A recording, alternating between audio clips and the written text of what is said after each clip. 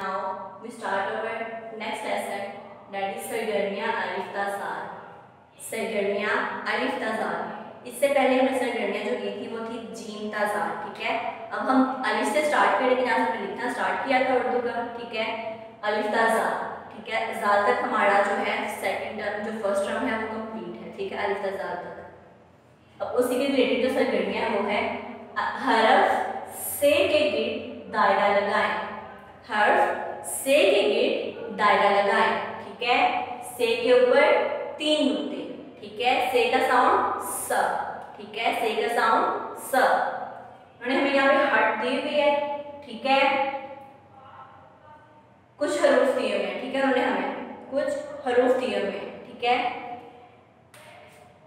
बे, ते, पे, से, टे, से जीम बे टे ते पे से पे से चे जीम अब इनमें से जो से है ठीक है जिनके ऊपर थ्री डॉट्स हैं ठीक है उसको हम सर्कल कर देंगे फ़र्स्ट लाइन में से किधर है लास्ट पर से के ऊपर थ्री डॉट्स से के ऊपर थ्री डॉट्स तो हम अब से को सर्कल कर देंगे। एक दायरा बना देंगे उन्होंने हमें कहा होगा ठीक है? सेकंड लाइन में से किधर है? आप बताएँ। टे के बाद से है ना? है ना? से के ऊपर थ्री डॉट्स पहचान बताई थी ना आपको मैंने। से के ऊपर थ्री डॉट्स से को सर्कल कर दिया, ठीक है? देन थर्ड लाइन जो है, उस पे लास्ट पे थर्ड लाइन के लास्ट वर्ड में से दिया हुआ है। फ़र्स्ट लाइन के भी लास्ट पे था। थर्ड लाइन के भी लास्ट पर से के ऊपर थ्री डॉट्स ठीक है? हो गया सर्कल आप मेरे साथ साथ कर रहे हैं ना ये लास्ट लाइन में से जो उन्होंने हमें दिया है वो है सेकंड सेकंड पे ठीक है सेकंड लाइन में उन्होंने सेकंड पे दिया हुआ था लास्ट लाइन में हमें सेकंड पे दिया हुआ है ठीक है इसको हम सर्कल कर देंगे आगे ना समझ फ़र्स्ट लाइन के लास्ट पर से था थ्री डॉट से का साउंड स सर्कल कर दिया सेकंड लाइन पे सेकंड पे था, दूसरे नंबर पे था। इसको भी हमने सर्कल कर दिया देन थर्ड लाइन पे भी लास्ट पे था, इसको भी हमने सर्कल कर दिया, और फोर्थ लाइन के सेकंड पे था। ठीक है? आपने घर में भी इसको ऐसे डिस करना है? ठीक है ना? जो सेकंड एक्टिविटी हमें उन्होंने दी हुई है वो है इमला। ठीक है? सेकंड सेकंड दी हुई है इमला अलिफ ताजार ठीक है? अलिफ ताजार आपने लिखना है, सिंपल आपने सिर्फ़ इसको वन डॉट पे लिखना है, ठीक है? ये आपने इमला जो घर में मैं ये बोल रही हूँ आपको बताने के लिए। आपको तो मैं बता दूँगी, ठीक है, इस पे। आप देखेंगे लेकिन आपने जब घर पे करनी है तो जुबानी करनी है, ठीक है? इमला आपने जुबानी करनी है। कोई भी आपके साथ होगा, वो बोलेगा, ठीक है? देन आप कॉपी पे राइट कर करेंगे और जुबानी, ठीक है? देख कर नहीं करनी। आपको सिर्फ़ वर्ड बता दूँगी कौन कौन सा में राइट करनी है ठीक है कॉपी पे फोर वर्ड्स हैं ठीक है फ़र्स्ट वर्ड है अलिफ मदा ठीक है अलिफ मदा को मैंने लिखना सिखाया था ना फ़र्स्ट लाइन से स्टार्ट करेंगे स्ट्रेट लाइन थर्ड लाइन तक ठीक है फ़र्स्ट फ़र्स्ट लाइन से थर्ड लाइन तक स्ट्रेट लाइन लगेगी ठीक है उसके बाद इसके ऊपर हम डालेंगे मदा. मदा आपको सिखाया था मैंने कैसे करना है? सिंपल एक थोड़ा सा इसको राउंड करेंगे स्ट्रेट कट लाइन स्लीपिंग लगाने के बाद उसको हम स्लैंडिंग लाइन लगा देंगे, ठीक है? स्टार्टिंग हम से स्टार्ट करेंगे, थोड़ा सा डाउन करेंगे, ठीक है? थोड़ा सा डाउन करने के बाद यहाँ पे स्लीपिंग लाइन लगेगी छोटी सी, ठीक है? देन इसके बाद एक स्लैंडिंग लाइन लगेगी ठीक है? स्लैंडिंग लाइन टेढ़ी लाइन तिरछी लाइन लगेगी ठीक है? और ये है अलिफ ठीक है? अलिफ मद्दा देन हम लिखेंगे टे। क्या लिखेंगे? टे। तोए वाला टे, ठीक है? जैसे कि आपको पता है, जो टे है, वो सेकंड और थर्ड लाइन में आता है, ठीक है? सेंटर की टू लाइंस में। थोड़ा सा स्ट्रेट लाइन लगा के राउंड करेंगे, थोड़ा सा राउंड करेंगे, टेढ़ा, ठीक है? देन स्लीपिंग लाइन लाइन के ऊपर एक लाइन लगेगी स्ट्रेट ठीक है? देन थोड़ा सा राउंड करते हुए सीधी लाइन। ठीक है? यहाँ पर थोड़ी सी तिरछी लाइन लगेगी, ठीक है? और यहाँ पर राउंड होगा। और इसके ऊपर एक छोटी सी तोय। तोय आपको मैंने बार बार सिखा दी है, ठीक है? स्ट्रेट छोटी सी लाइन लेने के बाद स्टैंडिंग लाइन तिरछी लाइन देन राउंड दाल की तरह। ठीक है ना? समझ आ गई? अलिफ का अलिफ का साउंड अ टे का साउंड ट। देन हम लिखेंगे वो लिखेंगे चे क्या लिखेंगे? चे तीन नुक्तों वाला चे ठीक है ना? सेकंड लाइन के ऊपर से स्टार्ट करेंगे। स्ट्रेट लाइन लगेगी ऊपर की तरफ़। देन स्लीपिंग लाइन ठीक है? स्लीपिंग लाइन लगाने के बाद थोड़ी स्लैंडिंग लाइन लगाएँगे। ठीक है? राउंड करते हुए थर्ड लाइन पे स्ट्रोक ठीक है? थर्ड लाइन पे इसका स्ट्रोक हो जाएगा और थ्री डोर्स चे के अंदर थ्री डोर्स ठीक है? चे का साउंड च. ठीक है? इसके बाद लिखेंगे हम जाल क्या लिखेंगे? जाल जाल भी आपको पता है सेकंड और थर्ड लाइन के अंदर आता है, ठीक है? और थोड़ा सा थर्ड लाइन से बाहर. ठीक है? बार आपको बताया हुआ है. डॉट लगाया हुआ है. यहाँ से हम लाइन के ऊपर से स्टार्ट करेंगे राउंड करते हुए आगे की तरफ़ और थोड़ा सा लाइन से बाहर। ठीक है? ये क्या है?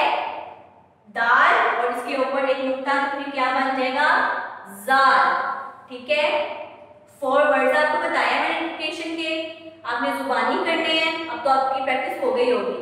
अलिफ मदा टे चे जाल।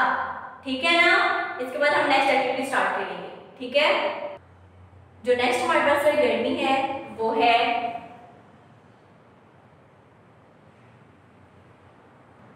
वो है खाली जगह पुल करें, ठीक है? जो हमारे पास नेक्स्ट एक्टिविटी है, वो है खाली जगह पुल करें, ठीक है? पहला जो हर्फ दिया हुआ है, वो है अलिफ ठीक है? क्या दिया हुआ है? अलिफ अलिफ के बाद क्या आता है? अलिफ मद्दा ठीक है क्या आता है, अलिफ मद्दा।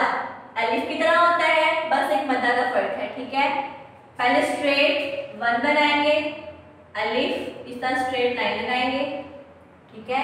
स्ट्रेट एंड के बाद थोड़ा सा राउंड कर्व करके स्ट्रेट और फिर नीचे की तरफ़ एक्सटेंडिंग लाइन ये क्या है? अलिफ मदा अलिफ मदा का साउंड अ देन बे बे का साउंड ब। बे के बाद क्या आता है? पे. पे के नीचे तीन नुक्ते। पे के नीचे तीन नुक्ते। एज इट इज़ जैसे मैंने ये लिखा था बे थोड़ा सा स्ट्रेट करके थोड़ा तिरछा करेंगे स्टैंडिंग लाइन की तरह। देन स्ट्रेट लाइन के ऊपर लाइन और थोड़ा सा राउंड करके ऊपर। ठीक है? और इसके नीचे तीन नुक्ते। ये क्या है? पे। क्या है? पे। पे के बाद ते। ते के ऊपर दो नुक्ते, ठीक है? ते के ऊपर दो नुक्ते। ते के बाद टे टे के ऊपर छोटी सी तोय टे का साउंड त। एज इट इज़ जैसे हमने पे लिखा था स्ट्रेट लाइन लगा के थोड़ा सा कर्व देन लाइन के ऊपर लाइन थर्ड लाइन के ऊपर लाइन थोड़ा सा राउंड करके स्ट्रेट और ऊपर छोटी सी तोय आपको मैंने बार बार बताया हुआ ठीक है? टे के बाद से। से के ऊपर तीन नुक्ते। से के बाद क्या आता है? जीम क्या आता है? जीम जीम हमने कैसे लिखना है? सेकंड लाइन से ऊपर तरफ़ एक लाइन लगाएँगे। Then sleeping line slanting line लगाने के बाद थोड़ा सा फोर लाइन के साथ टच और फिर थर्ड लाइन के साथ मिला देंगे। ठीक है? और इसके अंदर एक नुक्ता। जीम जीम का साउंड ज। जीम ज। जीम चे। चे के बाद हे। हे के अंदर कोई नुक्ता नहीं, ना ऊपर, ना नीचे, ना अंदर। जी की तरह लिखेंगे, ऊपर की तरफ़ एक लाइन लगाएँगे। Straight line then sleeping line standing line तिरछी लाइन थोड़ा सा ब्राउन और पैन के साथ डालेंगे थर्ड वाली, ठीक है? ये क्या है? हे। हे का साउंड ह। हे, फे। फे के बाद दाल। दाल आपको पता ना कैसे लिखते हैं? दरमियान वाली दो लाइनों के अंदर, ठीक है? सेंटर की टू लाइंस में। सेकंड से स्टार्ट करेंगे राउंड करते हुए। थर्ड लाइन से टच और फिर थोड़ा सा नीचे की तरफ़ स्टैंडिंग लाइन छोटी सी ठीक है? ये क्या है? दाल दाल का साउंड द। दाल के बाद डाल दाल के ऊपर छोटी सी तोय दाल के बाद जाल जाल का बताया था मैंने आपको कैसे होता है? किसी दाल की तरह, लेकिन ऊपर एक नुक्ता ठीक है? कर्व करेंगे। थर्ड लाइन के साथ टच और थर्ड लाइन से थोड़ा सा नीचे स्टैंडिंग लाइन लेंगे। छोटी सी माइनर सी। ऊपर एक नुक्ता, ठीक है? पेज नंबर 58 पे जो एक्टिविटी थी वो हमारी कंप्लीट हो गई है, ठीक है? आपने घर में इसकी खूब प्रैक्टिस करनी है, देखिए दोबारा से रिपीट बता दूँ आपको। अलिफ अलिफ के बाद, अलिफ मद्दा, बे के बाद क्या आता है? पे पे के नीचे तीन नुक्ते। टे टे के बाद टे आता है, टे के ऊपर छोटी सी तोय से से के बाद आता है जीन जीन के अंदर एक नुक्ता। चे चे के बाद हे हे खाली होता है, ठीक है? फे के बाद फे था, फे के बाद आता है दाल। ठीक है, दाल का एक राउंड बनता है। दाल डाल के ऊपर टोइन देन इसके बाद है लास्ट पर जाल। ठीक है, जाल के ऊपर एक ठीक है ना?